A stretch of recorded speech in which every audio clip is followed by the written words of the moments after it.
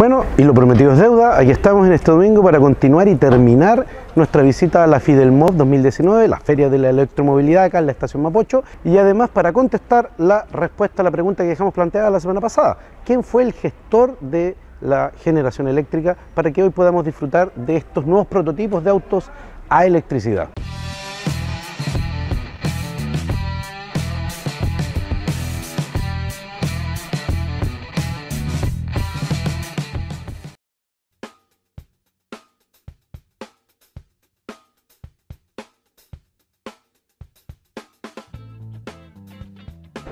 Hay que tener en claro que la batería es el mayor peso dentro del conjunto del auto. El auto se aliviana mucho porque se le saca el motor térmico, pero gana mucho peso por la batería.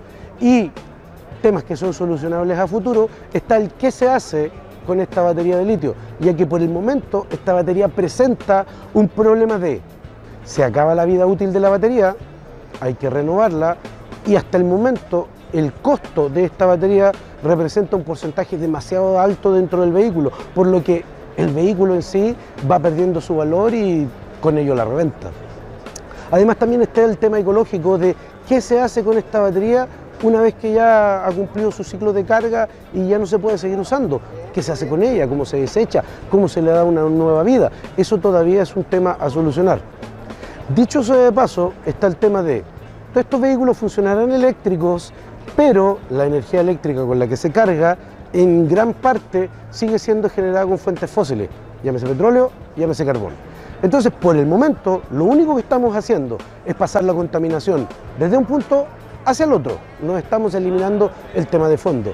El tema va a estar 100% solucionado y el automóvil eléctrico va a ser una real solución cuando las fuentes de generación eléctrica, las centrales que están generando esta energía, sean 100% renovables, llámense eólicas, fotovoltaicas o hidroeléctricas. Mientras sigan siendo térmicas, va a seguir el problema del CO2.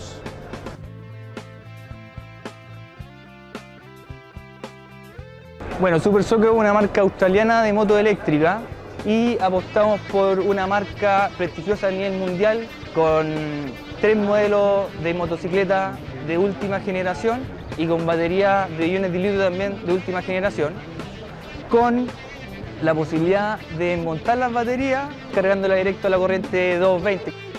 Tenemos el modelo TS, que es un, modelo más naked, más deportivo, que también llega a los 65 km por hora y finalmente tenemos el modelo TC, que es la top de línea, que llega a una velocidad máxima de 75 km por hora. La autonomía llega hasta los 80 km dependiendo del manejo que uno le dé. Tenemos torque que van desde los 115 Nm hasta los 150 Nm. Si lo llevamos a un modelo a combustión, estamos hablando de 1200 centímetros cúbicos. Entonces estamos hablando de una bestia eléctrica en la salida. Todos los modelos están homologados. También te dejamos cordialmente invitado a nuestro showroom que tenemos en Padre Hurtado Norte 384 en la comuna de Itacura para que puedas ver también toda la otra gama de productos que también tenemos auto eléctrico para los niños, moto eléctrico para los niños también y scooter eléctricos también. Muchas gracias, Sebastián. Uno de los aspectos interesantes de un vehículo eléctrico, dado que la cantidad de torque es constante y muy prolongada en las revoluciones que genera, se puede aprovechar el motor mucho más amplio que un motor térmico. Un motor térmico tiene un rango de revoluciones aprovechable muy corto, entre más o menos las 2.000 y las 3.500, 4.000 revoluciones, no es más que eso. En cambio, el motor eléctrico se puede aprovechar de entre 0 hasta 8, 9, 10.000 revoluciones. ¿Qué se gana con esto aparte de tener un torque máximo todo el tiempo de conducción? Se elimina la caja de cambio. Ya no tenemos que estarnos preocupando de hacer desmultiplicaciones para mantener al motor funcionando en un rango. Ahora simplemente ponemos un acelerador, ponemos un selector de hacia adelante, hacia atrás, ya no ponemos una caja de cambio, sino que simplemente un desmultiplicador para poder aprovechar mejor el torque del motor y sería, ya no tenemos que estarnos preocupando de qué cambio poner o de si nos van a alcanzar los cambios para la conducción. Ese es un muy buen punto para los automóviles eléctricos. Electromovilidad, nuestro futuro en el presente. Así que ese fue nuestro capítulo, espero que lo hayan disfrutado. No olviden darle el buen like, la suscripción, la difusión entre sus amigos, redes sociales, para que el canal siga creciendo, siga agarrando fuerza. Y la respuesta a la pregunta, me imagino que ya la intuyen el precursor de la corriente alterna en una batalla que no tuvo cartel con Edison fue el gran Nikola Tesla. Gracias a él hoy podemos disfrutar de la corriente domiciliaria y de sobre todo los automóviles eléctricos. Nos vemos en el siguiente.